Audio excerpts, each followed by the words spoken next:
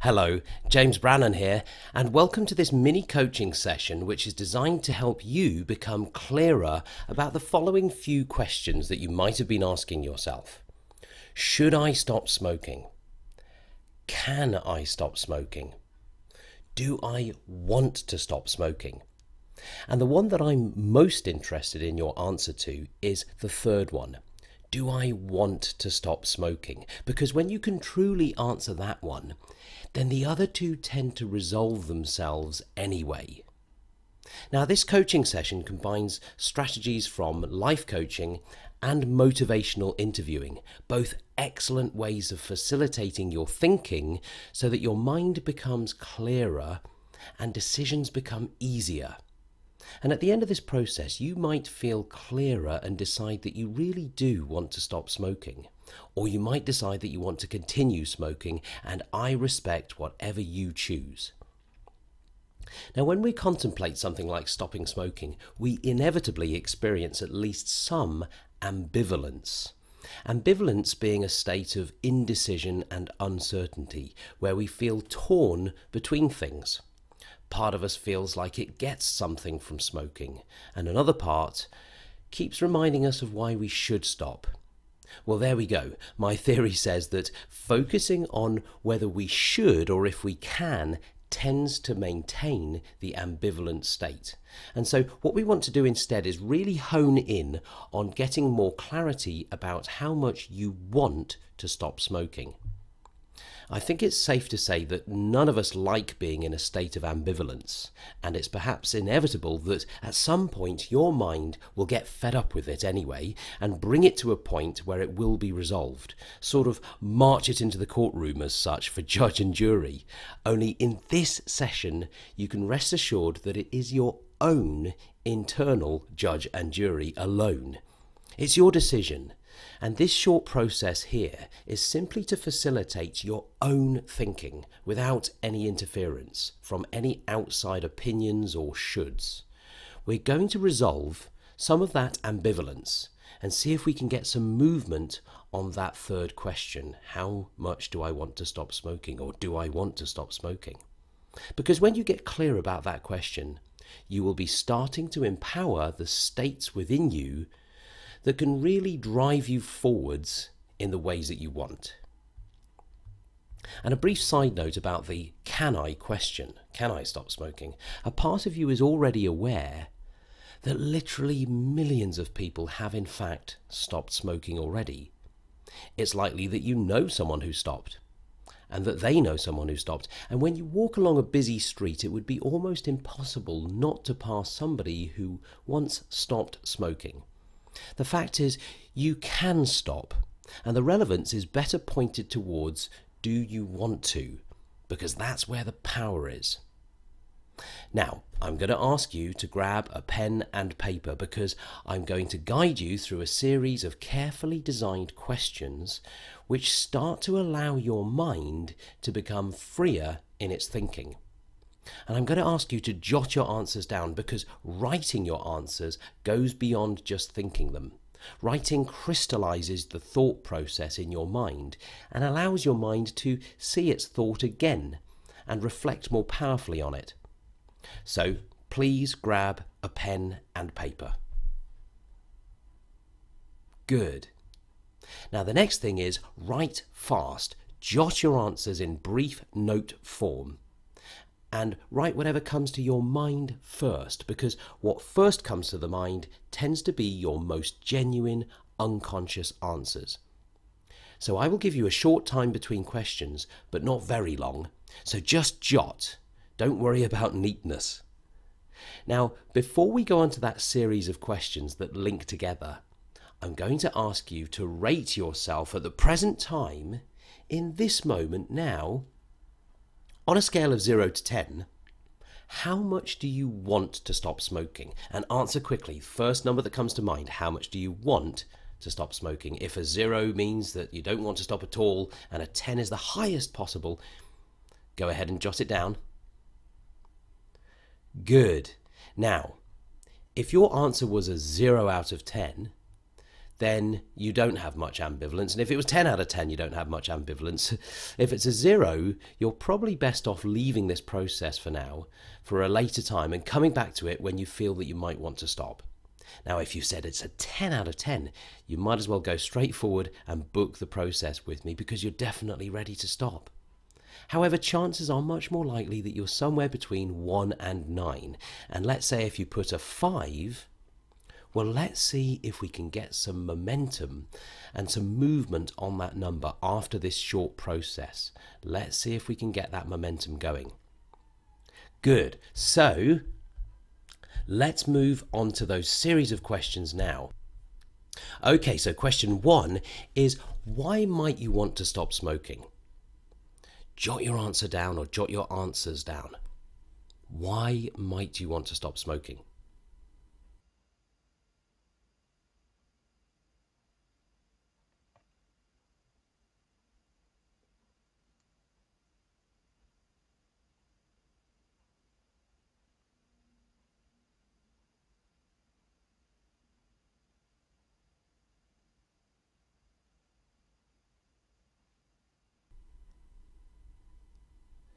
Now, I've said I'll give you just a short time. You can pause in between questions if you want to as well, but don't give yourself too long. Keep writing quickly. Question two How ready do you feel to stop smoking on a scale of 0 to 10? So it's not the same as that first question of how much you want to stop smoking. How ready in this present time do you feel to stop smoking on a scale of 0 to 10? Again, answer quickly. First question, first answer, sorry, that comes to mind. Good. And looking at that number, ask yourself, why isn't it a lower number than that? Now, listen very carefully to the question. So, if you've answered a 3, for example, why isn't it a 1 or a 2? If you've answered a 5, why isn't it a 4 or a 3 or less? Why is the number that high and not lower?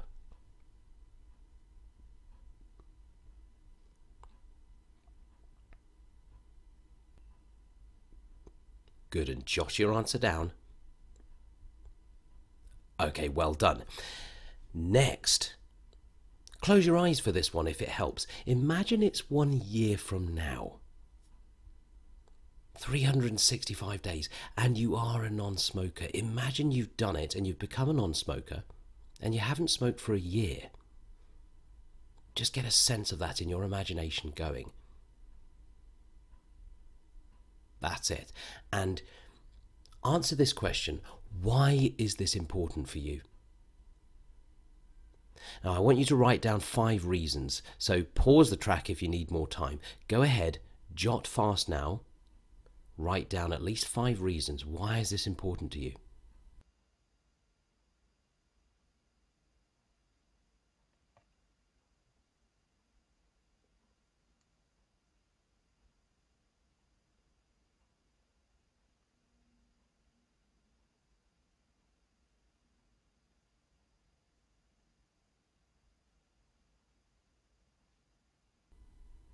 Okay, next, question four.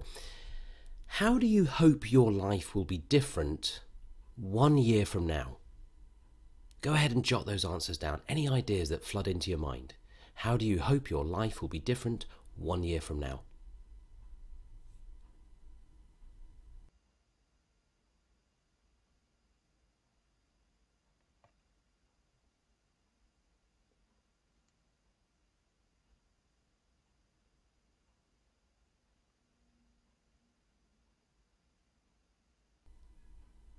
Okay, and the next part to that question is how would continuing to smoke contribute to that?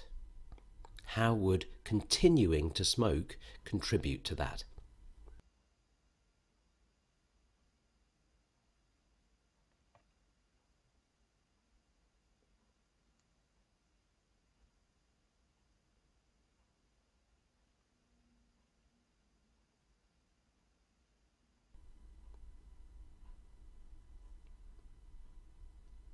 And the next part to that question is how would stopping smoking contribute to that?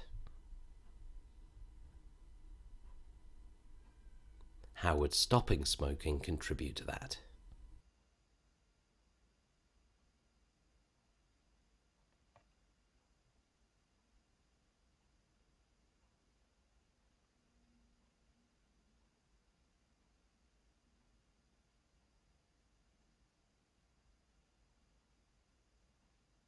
Okay, and pause if you'd like a little bit more time, but don't give yourself too long.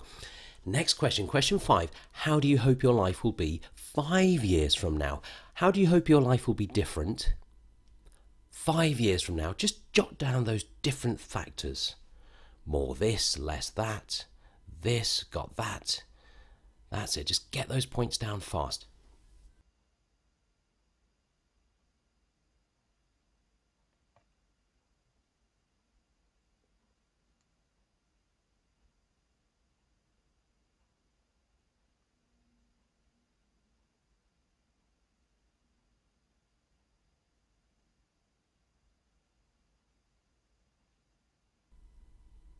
Good. Now, next, same thing as the last question in a way. The next part is how would continuing to smoke contribute to that, to those factors?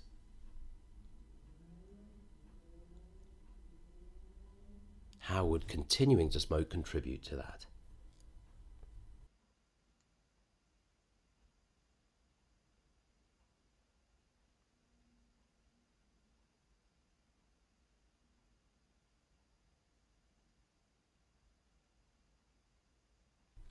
Good. And the next part how would stopping smoking contribute to that?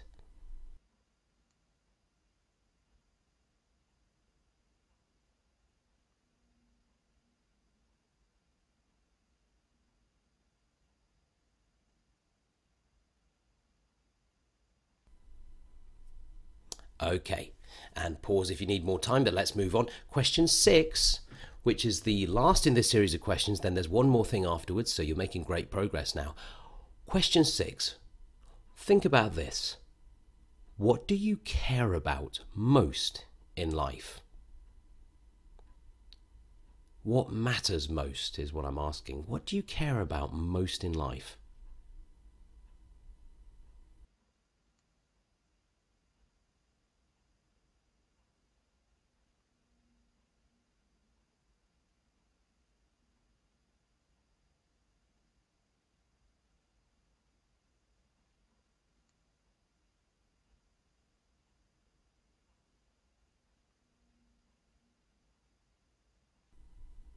That's it. Trust those first answers that come to your mind really quickly because that's your unconscious response. That's your honest response.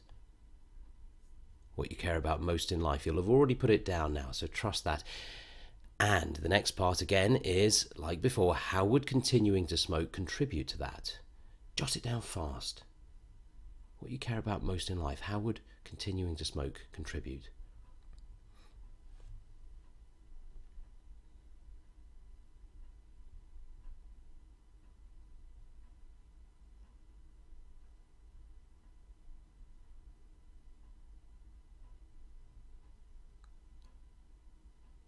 And finally, the next part how would stopping smoking contribute to that? So, what you care about most in life, how would stopping smoking contribute to that?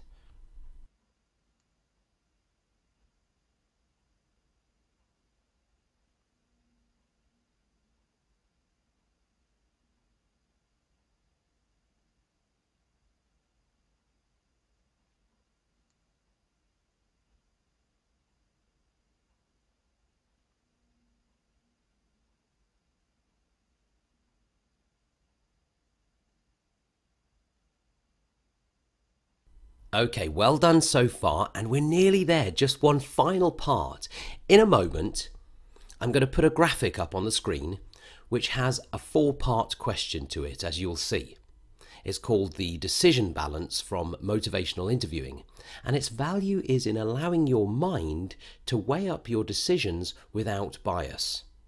It may seem like you're asking yourself the same four questions, by the way, but these are four slight variants and allow your mind the freedom to process as if approaching the question from four different angles, as you'll see. So here it is. Please go ahead and look at the decision balance on the screen. So, starting with the top left hand corner, ask yourself, what's good about smoking if I don't stop? And jot your answer down. You could draw a cross with a vertical line and then a line going across it and, and uh, fill out those quadrants on a piece of paper. Top left, what's good about smoking if I don't stop? And answer that. Get that down fast. What's good about smoking if I don't stop? Good. Now answer the top right hand one. What's bad about smoking if I don't stop?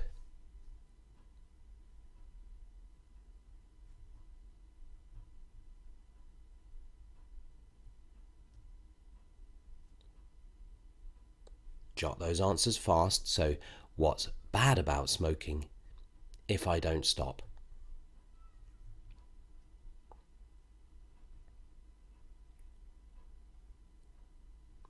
Well done. Now moving on fast, bottom left hand corner. What's good about stopping smoking if I do stop?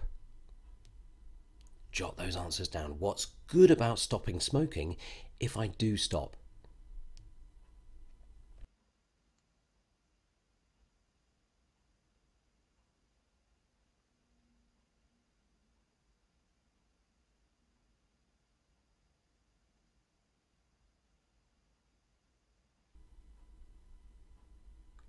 Good. And finally, bottom right hand corner, what's bad about stopping smoking if I do stop? What's bad about stopping smoking if I do stop?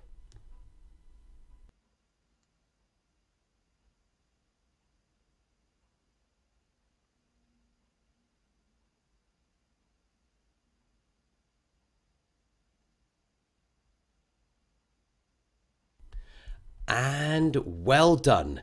Okay, you've completed this mini coaching session. And let's just quickly return to that original question How much do I want to stop smoking? Now, rate that again for yourself in this moment on that 0 to 10 scale.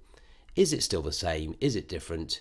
You come up with whatever comes to your mind. On a 0 to 10 scale, how much do I want to stop smoking? That's it. Just choose now and jot down whatever number you feel best represents you when you ask yourself that question. Okay, good, well done. So, what's next? Well, you're going to decide whether you want to experience and activate a genuinely effective process to help you stop smoking. As part of this process, by the way, I offer you a phone personalized coaching session this is optional. You don't have to do that part. If you feel that you're very ready to stop smoking, that might be less relevant to you. But if you have any uncertainty or remaining sort of push pull ambivalence inside about whether you're going to do it or whether you want to, then this on the phone coaching session will help with that. You also get, of course, a whole lot more. You get two sessions with me of an hour and a half long in person where we will apply a range of excellent techniques, including some hypnotherapy, which I think you'll really enjoy. Most people, by the way, leave with a big smile on their face and actually enjoyed the process. You also get access on this website, or if you're not on the website, then at thecompleteway.com, to some very powerful mind conditioning tracks which cooperate very well with all else that we do to support you further. And there's a couple of videos of techniques to reduce cravings.